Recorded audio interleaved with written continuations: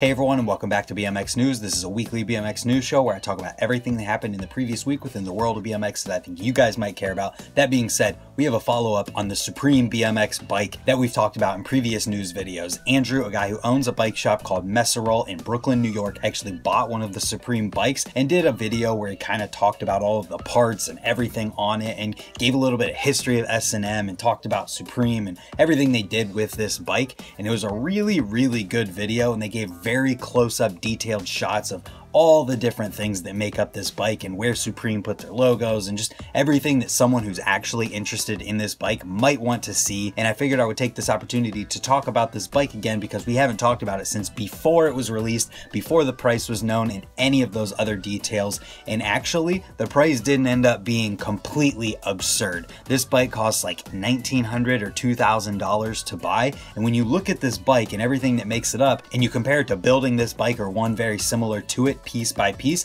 it would honestly almost cost about this much. They didn't cut any corners with this bike and you can tell just in looking at the video and all of the different details and attention to, and attention to detail that went into and attention to detail that went into making it. And it appears that Supreme also didn't limit S&M whenever it came to building this bike as far as putting their own logos on it and branding the bike as an S&M and Supreme bike. There are probably just as many S&M logos on this bike as there are Supreme logos. And it was just really good to see that this company didn't come in and order this bike from S&M and make them only put Supreme logos on it, use the cheapest possible components to make it. No, they came in, they made a period piece bike that is almost exactly what you would find in 1995 if you were going to buy a S&M dirt bike. So let the haters and purists and gatekeepers of BMX say whatever they want to say about this thing. It could have been so much worse. And I don't think a company like S&M who's so well respected in the BMX world,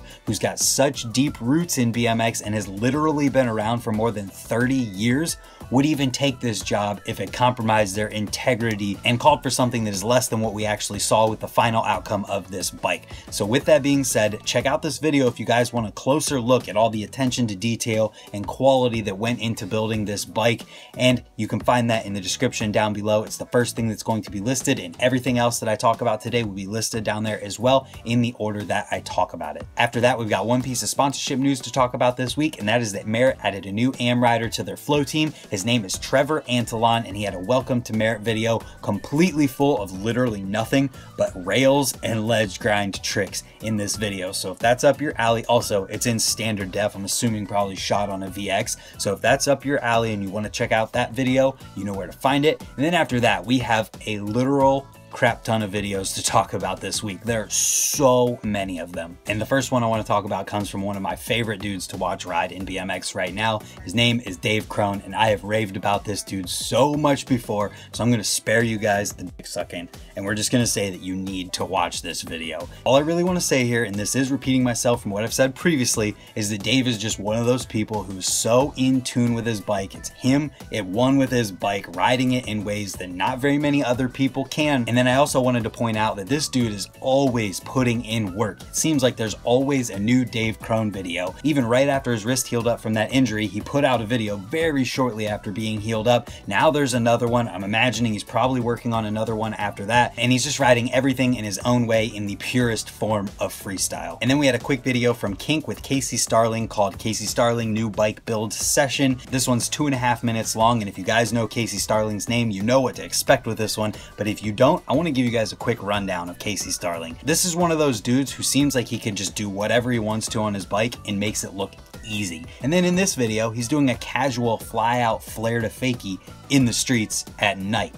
This dude absolutely rips, and if you guys haven't heard his name, you're gonna wanna check this video out. Then after that, we had another quick video, this time from GT, in a continuation of what seems to be their quarantine series, where it's just got all their riders talking about their experiences and how they're dealing with the quarantine and everything going on.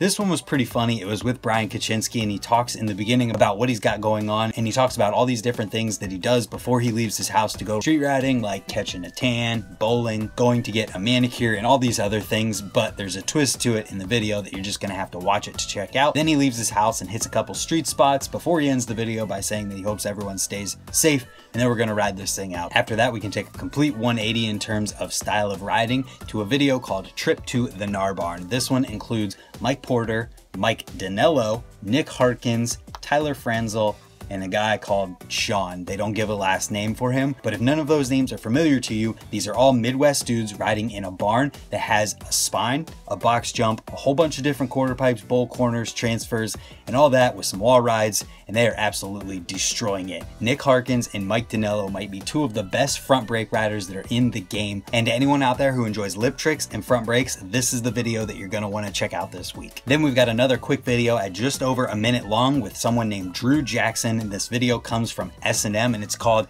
Dat Boy Drew. And I actually wanted to talk about this video because of a story that I've got about Drew. So myself and a friend way back in like 2011 or 12 drove all the way out to Oklahoma randomly. We showed up at the Tulsa skate park and Drew was there. We shredded, we got to know him. And then without even knowing us other than riding that night, he offered us a place to stay, and it was just an awesome thing of him to do without even knowing us, and the dude absolutely rips. So I figured I would talk about this one and give Drew a shout out all of these years later. So if you see this, thanks again, Drew. And then after that, we've got a video that I know a lot of you are gonna be psyched on. It's Jay Miron's Macneil video section from all the way back in 2000 four. And I really don't even have to say anything to describe this one. It's Jay Miron. You probably already clicked off the video to watch this one. But after that, there's a bunch more videos that I thought were worth talking about, but I didn't want to talk in depth about. The first one is a video from Subrosa called the Quarantine Mix, and this is volume one, so obviously there's going to be some more coming. And the premise behind this video is pretty simple. The Subrosa team riders were tasked with the mission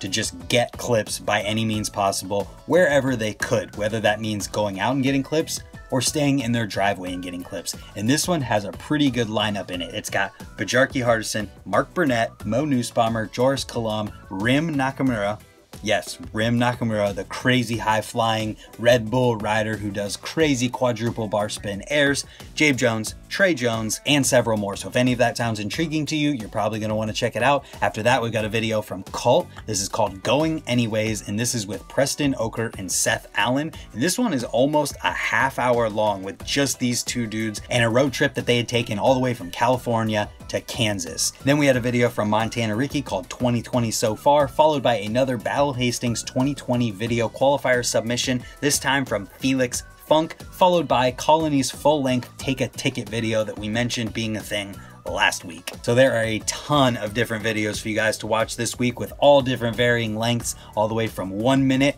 to 30 minutes. So check some of those out in the links in the description below if you want to. And then we've got a couple different bike checks to talk about this week. The first one comes from Matt Coplon in Profile, and it's called What I Ride, and it's up on Profile's YouTube channel, followed by a Miki Fleck video bike check from United and a Matt Nordstrom picture bike check with just a list of parts from Odyssey. And that brings us into the product related news from this week. The first thing that I have to talk about here is a promo video from Fly with Devon Smillie to promote his signature Fuego line that has recently been updated with some new colors and parts. And this video is exactly a minute long with Devon's signature tech, as well as a couple burly moves in here. He did do a 540 down a stair set, which was really awesome. And there's also a mixture of cassette and free coaster moves in here because I believe Devon Smillie has jumped back on the cassette train. Then we've got a video from Haro with Chad Kerley called Door Direct. And this is basically a promotion to let people know that they now have a direct shipping service where you can order a bike from Haro and get it shipped directly to your door if you don't have a local bike shop where they can send it. Because if you guys didn't know, Haro has a system where you go on their website and if you try to order a bike, they won't ship it directly to you, at least they wouldn't they would ship it to the local Haro dealer that was closest to you, and then you had to go and pick it up from there. Well, now they'll ship it directly to you if you don't have somewhere you can get it. And this video is a promotion of that with Chad building up a brand new bike and then going out and riding it. And then the last product related thing to talk about this week is a preview of Kink's 2021 complete bikes. And that brings us into the interviews from this week. The first thing that I want to talk about is something that actually happened on my channel. For those of you who only follow this channel for the news videos and might have missed it, I actually did a live stream podcast with Tate Kelly talking about his riding and all kinds of other stuff. So if you want to check that one out, you know where to find it. And then unfortunately, we've got to talk about some bad news in that the Kitchen Skate Park in Indiana, Brett Banasiewicz' skate park is going to have to close because of everything going on. Vital BMX did an interview with him talking about it, and it's kind of a bummer to read. It's kind of a bummer to hear. And that's really all I have to say about it. It sucks that it's happening, and it's hard to find some positive in this situation where it doesn't feel like there's a silver lining whatsoever. But that is going to be the end of the news video this week. If you guys have any thoughts on the Supreme bike now that you've seen the whole thing and all of the details up close, let me know in the comments down below, as well as if you have thoughts on anything else that I talked about today. Subscribe if you're new while you're down there, and hopefully that'll mean we'll see you tomorrow for another video. Thank you guys for watching, and goodbye.